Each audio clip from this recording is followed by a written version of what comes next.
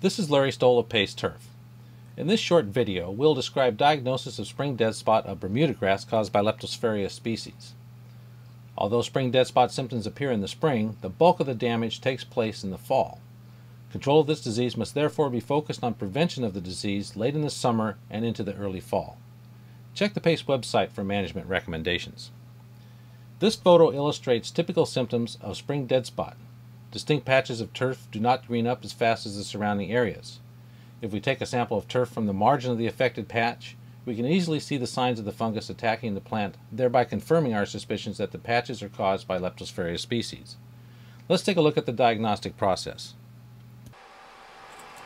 The first step is to take the sample and power wash it with a forceful stream of water and you'll see that we have some white stolons in here and we also have a lot of dark colored damaged tissues.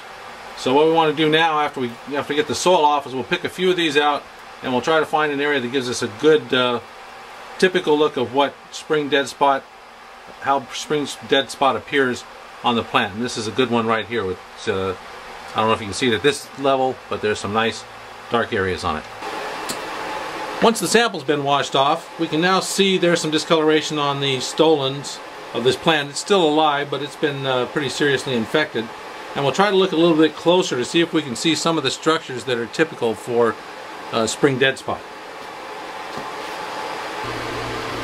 This is what the stolon looks like in a little bit higher magnification. You can see these dark areas that are infection cushions of the fungus and you can see the discolored tissue where the fungus has infected.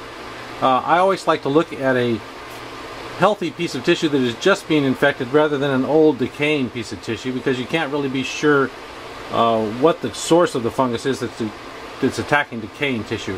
Here that shows that the plant is actually succumbing to the activity of the fungus and the fungus is actually going into a, uh, a living piece of tissue.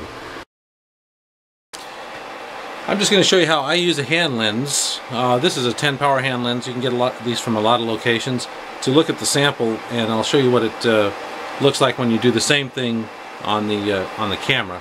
But I hold the hand lens close to my eye and then I move the sample in and out for focus. That allows you to uh, uh, get a good look at what's going on in the sample. So you're using it pretty close to your eye. So when you're using hand lens, don't try to go like this uh, at a distance from your eyeball. Put the hand lens right up near your eye and then move the sample in and out to uh, see what you're looking at. And I'll show you how that looks on the video camera in just a second. And I'll just show you what you would probably see using a hand lens if you're doing it in the field. So just imagine that the camera is uh, your eye and you put the uh, hand lens close to your eye and then you move the sample in and out to uh, allow you to focus. And you can see those spots that are on there are uh, infection cushions of the fungus, Leptosphaeria, Leptosphaeria korrae, more than likely. But anyway, that uh,